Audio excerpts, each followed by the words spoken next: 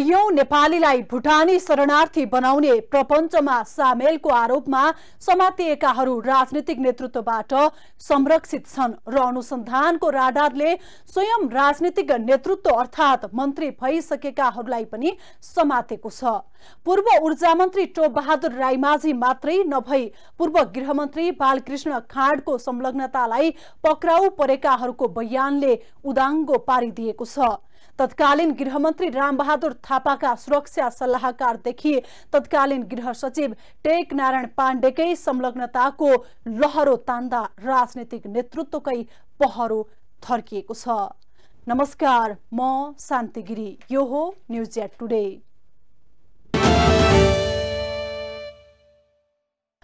शनिबार आयोजित नेपाल दलित मुक्ति मोर्चाको राष्ट्रिय सम्मेलनलाई सम्बोधन गर्दै प्रधानमन्त्रीले भ्रष्टाचार सम्बन्धी ठूला फाइलहरू खुल्दै जाने बताए।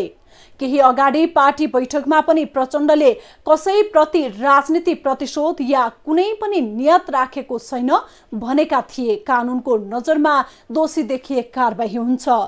भ्रष्टाचार र अनियमितताको यो सुरुवात मात्रै हो। अझ ठुला भ्रष्टाचार अनियमितताको पोल खुल्दै जानेछ उनले भनेका थिए। केही दिन अगाडि मैले अब भ्रष्टाचारीको फाइल खोलिन्छ भनेको थिएँ। कुनै पनि हालतमा भ्रष्टाचारीलाई छुट दिन सकिन्न भनेको थिएँ। आज तपाईँहरूले देख्नु भएको छ यो टेलर मात्रै हो। हेर्दै जानुहोस् सिङ्गै फिल्म देखिन्छ।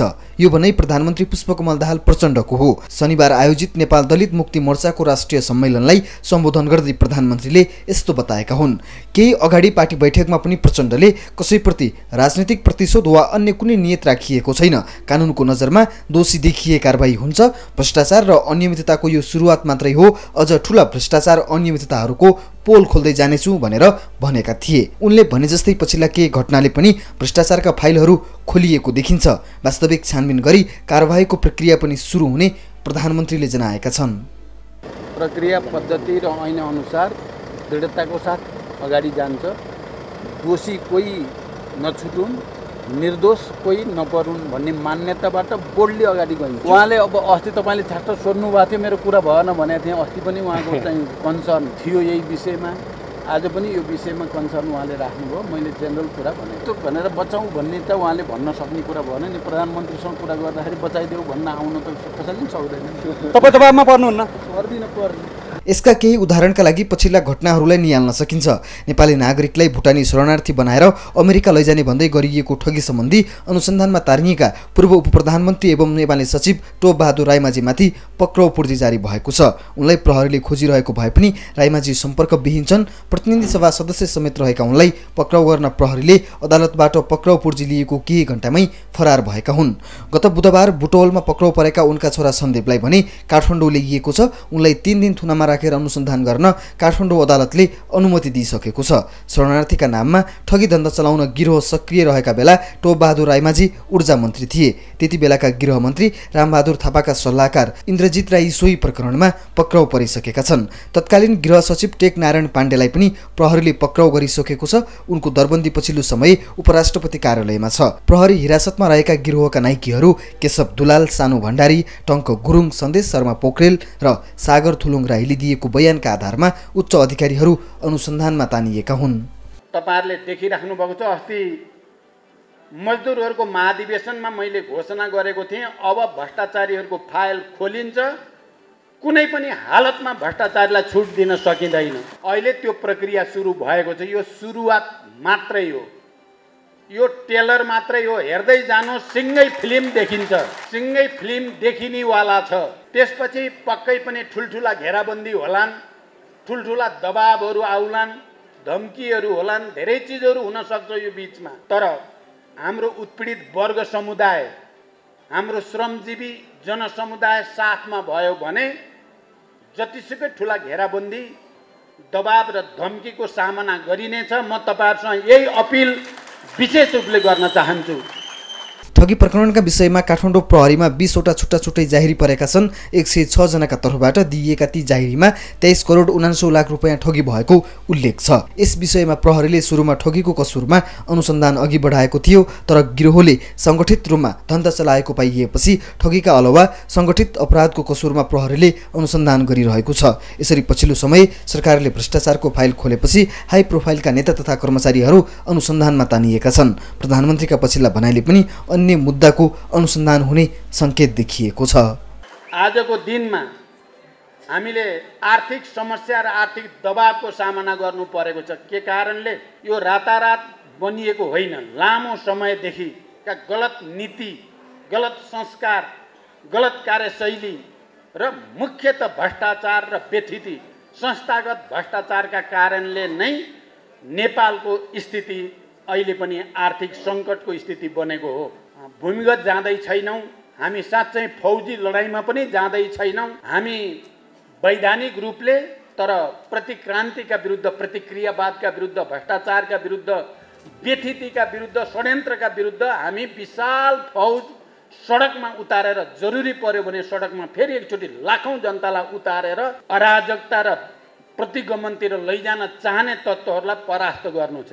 भुटानी शरणार्थी प्रकरणमा एमाले सचिव टोपबहादुर राईमाझी विरुद्ध पक्राउ पूर्जी जारी भएपछि एमाले अध्यक्ष केपी शर्मा ओलीले भने प्रधानमन्त्री पुष्पकमल दाहाललाई दुई पटक भेटिसकेका छन्। सिंहदरबार पुगेरै दुईपटक केपी शर्मा ओलीले प्रधानमन्त्री पुष्पकमल दाहालसँग भेट गरेका हुन्। एमाले अध्यक्ष ओलीले उप प्रधानमन्त्री भइसकेको बालवाला सांसद राईमाझीलाई प्रहरीले बाटोबाटै समातेर हत्कडी लगाउन खोजेको आरोप लगाएका छन्। ओलीले यस प्रकरणमा दोषीलाई छाड्न नहुने तर निर्दोषलाई फसाउन पनि नदिइने बताएका छन्। तर ओलीले राईमाझीलाई बचाउन खोजे खोजेको आरोप लागेको छ भने प्रधानमन्त्री प्रचण्ड पनि दबावमा पर्ने आशंका उब्जिएको छ।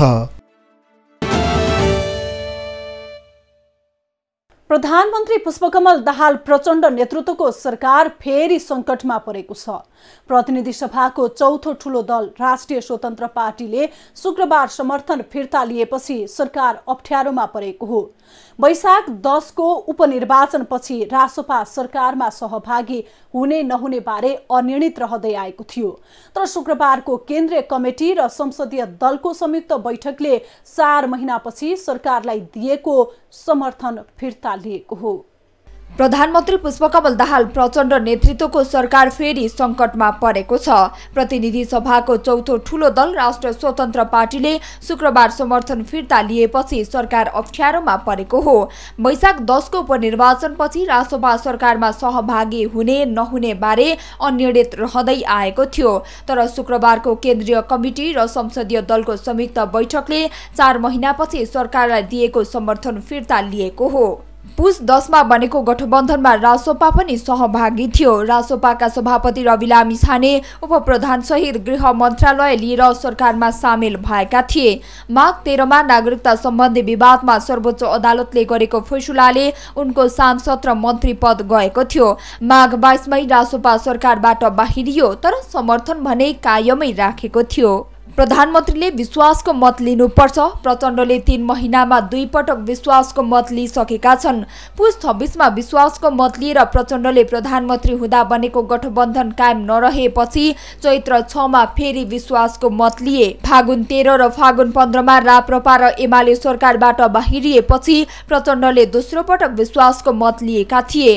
पहिलो पटकमा दुई सय अडसठी र दोस्रो पटकमा एक सय बहत्तर सांसद प्रचण्डको पक्षमा उभिए।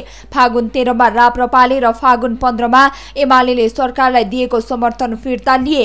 तर माघ बाइसमै सरकारबाट बाहिरिएको राष्ट्र स्वतन्त्र पार्टी रासोपाले सरकारलाई दिएको समर्थन कायमै राख्यो। राष्ट्र स्वतन्त्र पार्टीका सभापति रवि लामी छानेले चितवनबाट निर्वाचित हुने बित्तिकै सरकारलाई दिएको समर्थन फिर्ता लिने बताएका थिए। संविधानको धारा एक सयमा विश्वासको मत सम्बन्धी व्यवस्था छ। सरकारमा रहेको दलले समर्थन फिर्ता लिएमा प्रधानमन्त्रीले विश्वासको मत लिनु गर्नुपर्ने संविधानमा उल्लेख छ। न्यूनतम कार्यक्रम बन्यो बाहना एमाले माओवादी गठबन्धनले न्यूनतम साझा कार्यक्रम बनाएर सत्ता सञ्चालनमा समझदारी बनाएको थियो तर गठबन्धन टुटसँगै उक्त न्यूनतम कार्यक्रमले निरन्तरता पाएन जसले राजसपाले सरकारलाई दिएको समर्थन फिर्ता लिनुको मुख्य कारण बनाएको छ। तर माओवादी र राजसपाका नेताहरूका अनुसार मन्त्रालय पाउनुपर्ने दावी गरेपछि सरकारमा राजसपालाई प्रचण्डले सहभागी नगराएका हुन्। प्रचण्डले बालुवाटारमै भेटेर सरकारमा सहभागी हुने नहुने बारे लामिछानेसँग छलफल गरेका थिए। एमालेको दावी मिलेको हो। एमाले भने चैत छ गतेको विश्वासको मतकै बेलामा प्रचण्डले तेस्रो पटक विश्वासको मत लिनुपर्ने दावी गरेको थियो। तर एमाले दावी गरेको तीन महिनामा भने विश्वासको मत लिनुपर्ने वा नपर्ने बहस प्रारम्भ भएको छ। रासोपाले समर्थन फिर्ता लिए विश्वासको मत लिनुपर्ने एक थरी तर्क छ। सरकार गठनका क्रममा राष्ट्रपति समक्ष हस्ताक्षर बुझाउने दल भएकाले विश्वासको मत लिनुपर्ने केहीको धारणा छ। तर केहीले भने संविधानले सरकारमा सहभागी दलले समर्थन फिर्ता लिएको अवस्थामा मात्र विश्वासको मत लिने व्यवस्था गरेकाले तेस्रो पटक बाध्यता नरहेको बताउने गरेका छन्। समर्थन फिर्ता लिए पनि संवैधानिक बाध्यता नभएको जिकिर सत्ता पक्षमा रहने दलहरूको छ किनकि रासोपा सरकारमा सहभागी थिएन। कस्तो छ संसदमा गणित अहिले सरकारमा रहेका दलहरूमा सबैभन्दा ठूलो कङ्ग्रेससँग अठासी माओवादी केन्द्रसँग बत्तीस जनता समाजवादी पार्टीसँग बाह्र नेकपा एकीकृत समाजवादीसँग दस लोसपासँग चार नागरिक उन्मुक्तिसँग तीन राष्ट्रिय जनमोर्चा एक गरी प्रचण्डसँग एक सय पचास जना सांसद छन्। दुई सय पचहत्तर सदस्यीय संसदमा बहुमतका लागि प्रचण्डलाई एक सय अडतिस सांसद आवश्यक पर्छ।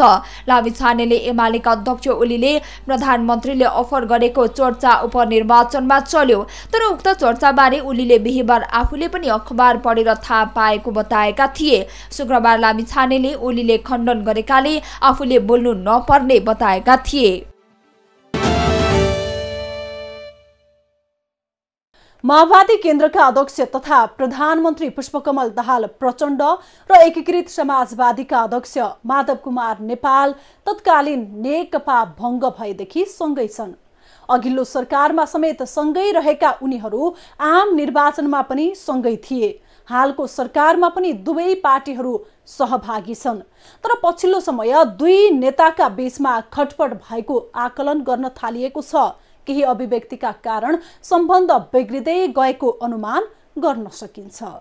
माओवादी केन्द्रका अध्यक्ष तथा प्रधानमन्त्री पुष्पकमल दाहाल प्रचण्ड र एकीकृत समाजवादीका अध्यक्ष माधव कुमार नेपाल तत्कालीन नेकपा भङ्ग भएदेखि सँगै छन्। अघिल्लो सरकारमा समेत सँगै रहेका उनीहरू आम निर्वाचनमा पनि सँगै थिए। हालको सरकारमा पनि दुवै पार्टीहरू सहभागी छन् तर पछिल्लो समय दुई नेताहरूका बीचमा खटपट भएको आकलन गर्न थालिएको छ। केही अभिव्यक्तिका कारण सम्बन्ध बिग्रिँदै गएको अनुमान गर्न सकिन्छ। अध्यक्ष माधव कुमार नेपालले प्रधानमन्त्री एवं नेकपा माओवादी केन्द्रका अध्यक्ष पुष्पकमल दाहाल प्रचण्ड प्रति असन्तुष्टि व्यक्त गर्दै आएका छन्। अध्यक्ष नेपालले सरकार र गठबन्धनभित्र समेत आफ्नो दललाई व्यवस्था गरिएको बताउँदै गठबन्धनको भविष्यप्रति नै आशंका व्यक्त गरेका छन्। गत बुधबार बिहान सुर्खेतको वीरेन्द्रनगरमा एकीकृत समाजवादीको कर्णाली प्रदेश प्रचार विभागले आयोजना गरेको पत्रकार सम्मेलनमा पूर्व प्रधानमन्त्री नेपालले अधिकांश समय माओवादी केन्द्रको व्यवहार प्रति असन्तुष्टि मात्रै प्रकट गरेनन्। उनले आफू निकै मर्माहत भएको पनि उल्लेख गरेका थिए। मलिन मुद्रामा प्रस्तुत भएका नेपालले करिब आधा घण्टा सत्ता साझेदार दल माओवादी र अध्यक्ष प्रचण्ड प्रति नै केन्द्रित रहेर कुरा गरेका थिए। अध्यक्ष नेपालले प्रचण्डलाई भुक्तभोगीको पनि संज्ञा दिए। प्रचण्ड गठबन्धन गरेर चुनावमा गएको र नतिजापछि भुक्तभोगी भएर ओलीको शरणमा पुगेको उल्लेख गर्दै फेरि चुनावी गठबन्धनमै फर्किनु परेको उनले सम्झना गराएका थिए।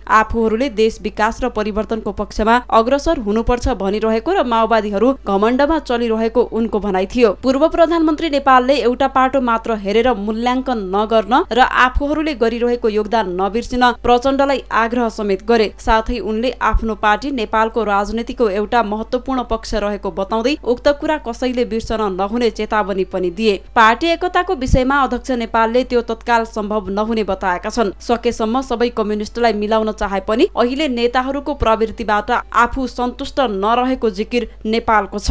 नेपालले आफू दुई हजार अडचालिस सालदेखिको सबै राजनीतिक घटनाक्रमको जीवन्त साक्षी रहेको बताउँदै सबैको उचित महत्व बुझ्नुपर्ने र त्यही तरिकाले व्यवहार गर्नुपर्ने बताए। उनले गठबन्धन लक्षित प्रश्न गर्दै भने हाम्रो जिल्ला प्रदेशका साथीहरूलाई पीडा भए मलाई त्यो पीडा हुँदैन। केन्द्रमै पीडा महसुस हुन थालेपछि त्यसको फिल मलाई हुँदैन। नेपालले मिठो कुरा गरेर मात्र केही नहुने बताउँदै आफूहरू केटाकेटी नभएको स्पष्ट पारेका थिए। आफूले पाएको पीडा कर्णालीमा आएर पोखेको र मनमा शान्ति लिएर काठमाडौँ फर्कने बताएका नेपालले सञ्चार माध्यमबाट नै प्रचण्डलाई सन्देश पठाउन खोजेको पत्रकार सम्मेलनमै बताएका थिए। अध्यक्ष नेपालले कर्णालीमा माओवादी र कङ्ग्रेसले आफ्नो दललाई पुरै व्यवस्था गरेको भन्दै आक्रोश पोखे। माओवादीले एकलौटी गर्न खोजेको र त्यो राम्रो नभएको बताउँदै उनले गठबन्धनभित्र यस्ता कार्यको आलोचना साथै निन्दा गरिने बताएका छन्। मान्छेहरूले गठबन्धनको विषयमा अनेक प्रश्न उठाउन थालिरहेको बताउँदै नेपालले आफूहरू टिकाउन लागि परेको भए पनि व्यवहारबाट वाक्क भइरहेको बताएका छन्। अध्यक्ष नेपालले अति भएपछि क्षति हुन्छ भन्ने कुरा समयमा बुझ्नुपर्ने चेतावनी समेत दिए। आफूले पाएको पीडा कर्णालीमा आएर पोखेको र मनमा शान्ति लिएर काठमाडौँ फर्कन खोजेको बताउँदै नेपालले सञ्चार माध्यमबाट नै प्रचण्डलाई सन्देश पठाउन खोजेको पत्रकार सम्मेलनमै प्रस्ट्याएका थिए। तर पछिल्ला केही दिन यता भने नेपालले यस्तो अभिव्यक्ति दिएका छैनन्। प्रधानमन्त्री प्रचण्डले पनि नेपालको भनाइमा टिप्पणी गरेका छैनन्। तर नेपालको भनाइ अनुसार गठबन्धनमा खटपट सुरु भएको अनुमान सहजै गर्न सकिन्छ।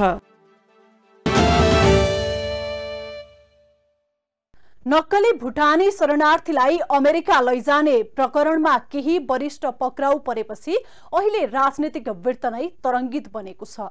प्रधानमन्त्री प्रचण्डले भ्रष्टाचारी विरुद्ध अभियान नै सञ्चालन गरेको बताएका छन्। सरकारको यो अभियान सराहनीय छ तर अझै धेरै भ्रष्टाचारका काण्डहरूलाई सरकारले पर्दाफास गर्न सक्नुपर्छ। देश भ्रष्टाचारीहरूले खोक्रो बनाउनै लागेका छन्। सुशासन कायम गर्नका लागि प्रचण्ड सरकारले गरेको यो अभियान स्वागत योग्य छ। तर अझै पनि केही भ्रष्टाचारीहरूले राजनीतिको आवरणमा उन्मुक्ति पाउने खतरा पनि छ। हस्त आजलाई न्युज टुडे यति नै। हामी सबैलाई बिदा दिनुहोस्। नमस्कार।